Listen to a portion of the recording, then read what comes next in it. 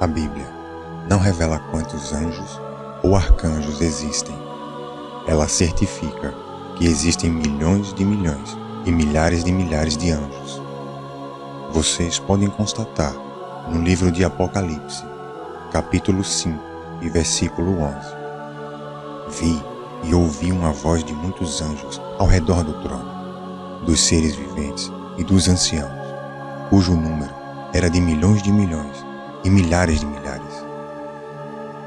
Este foi o relato de uma visão que João, um dos discípulos de Jesus, escreveu quando estava aprisionado na ilha de Patmos.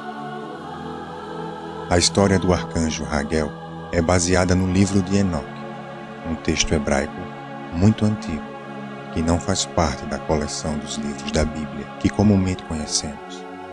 Raguel significa amigo de Deus. Em algumas outras traduções, atribui-se companheiro de Deus. Raguel, nas palavras de Enoque, é um dos santos anjos, o qual inflige punição ao mundo. Já deu para percebermos que ele é um anjo de justiça. Enoque continua dizendo que Raguel também pune os luminares. Neste momento do texto, outras versões, precisamente nesta palavra, traduz como luminárias. Então, baseado nesse contexto, pesquisadores ou mesmo intérpretes afirmam que Raguel é um dos arcanjos de alta patente que tem o poder de julgar os atos dos outros anjos, verificando se eles estão trabalhando adequadamente e cumprindo as ordens de Deus. Raguel é citado por Enoque na terceira posição. Ele cita primeiro o nome do anjo, em seguida diz que é um dos santos anjos e depois revela alguma função ou característica do anjo. Antes da ordem dos nomes, ele fala: Esses são os nomes dos anjos sentinelas: Uriel, Rafael, Raguel, Miguel, Suriel, Gabriel e Remiel. Raguel aparece três vezes no livro de Enoque. Ele é um dos anjos designados por Deus para transportar Enoque da terra até os céus e é o mesmo que o traz de volta para a terra em outro momento. Em uma das visões que Enoque presenciou, ele diz que Raguel estava com ele e explicou um dos fenômenos que chamou muito a atenção de Enoque, no qual ele não entendia. Era sobre uma tocha flamejante que percorria os céus de um canto ao outro.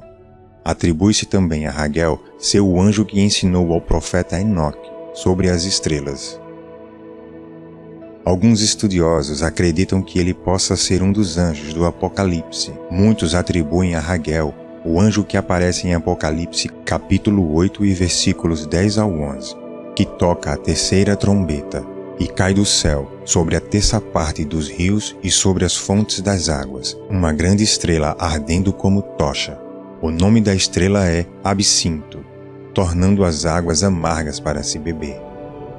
Muitos sustentam essa afirmação, pois seria muita coincidência.